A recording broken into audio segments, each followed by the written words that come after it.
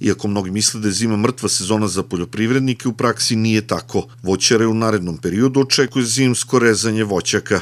Ovaj zimski period, niske temperature jako pogoduju, naši voćari su već i na terenu, znači orezu, evo imamo i kontakte da ćemo na terenu i raditi neke radionice što se same rezidbe tiče, kod onih, ne, da kažem pod znakom navoda, neiskusnih voćara, oni koji imaju te mlade voćne zasade, kada se e, počinje sa formiranjem tog uzgojnog oblika, a naravno krenula se rezidba zimska i kod rodnih e, e, voćki, tako da pojavljujemo se i kod jednih i kod drugih, tako da dobro nam dođe i da mi izađemo u voćnjak i da zajedno okupimo tu 5, 6 do 10 ljudi i da zajedno sa njima pokažemo na otvorenom koje grane se, e, kako se formira oblik, šta se iznosi iz zasada, na koji način se orezuje, koji, koje su prednosti rez, pravilne rezidbe, kakvu štetu mogu oni da naprave. Šte, e, rezidba je izuzetno bitna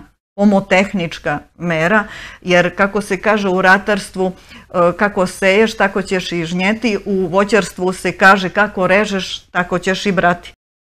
Meteorolozi za naredni period najavljuju izuzetno niske temperature. Kako ističe Mimica Kostić-Đorđević, to će pogodovati voćkama. Uz rezidbu izuzetno je bitna i prihrana biljaka. Voćari i vinogradari već mogu da počnu da planiraju kojim đubrivom će raditi prihranu.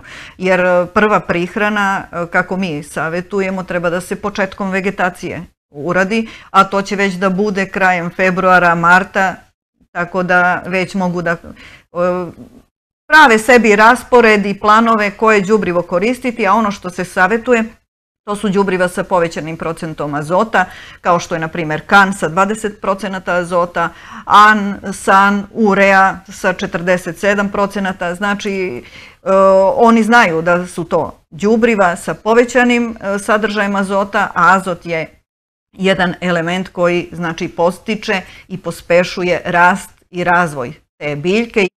Iz Poljoprivredne savjetodavne službe Pirot pozivaju poljoprivredne proizvođače da pre prihrane urade besplatnu agrohemijsku analizu zemljišta. Prošle godine urađeno je oko 2000 analiza kojima je obuhvaćeno oko 700 poljoprivrednih proizvođača.